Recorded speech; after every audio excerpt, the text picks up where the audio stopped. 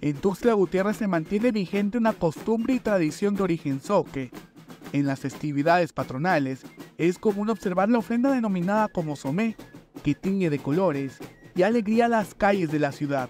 Pues el somé, muchos dicen que se denomina regalo. Dentro del regalo, eh, cuando es un somé que se mete a, un santo, a una imagen, eh, se lleva a somé, se le pone trastes, eh, servilletas, cosas que le va a servir a la persona que hace la fiesta para otros años, por ejemplo, trastes y etcétera de cosas. Esta ofrenda tradicional consiste en una vara de madera, la cual es forrada con distintos follajes de la región, y en ella se coloca lo que se denomina como cuelga, que pueden ser panes, frutas o diferentes artículos utilitarios. Se hace de, flor, de hoja de temporada, puede ser caoba, este, tempisque o inclusive flores. Y se le pone pan, fruta, eh, plátano y piña, que pues prácticamente es una ofrenda a la imagen de los frutos que nos da la madre tierra.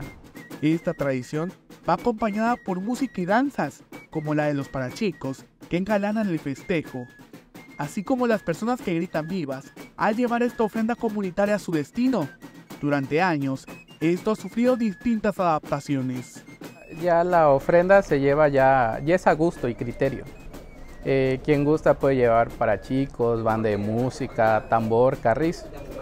Entonces, como tal, una música reglamentada para el somé no hay, todo es gusto y criterio de la persona que, lo está metiendo.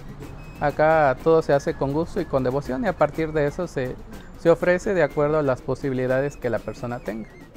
Los artículos que complementan esta ofrenda o regalo sirven como un tipo de presente o felicitación y se ofrecen dentro del marco de las festividades religiosas de la capital chiapaneca. Es el tipo de producto que se puede vender o que puede tener un uso para la persona que, recibe el somé. Entonces por eso se le denomina regalo, que es una ofrenda para los santos, pero de igual manera le va a dar un uso el dueño de, de la casa o el dueño de la fiesta.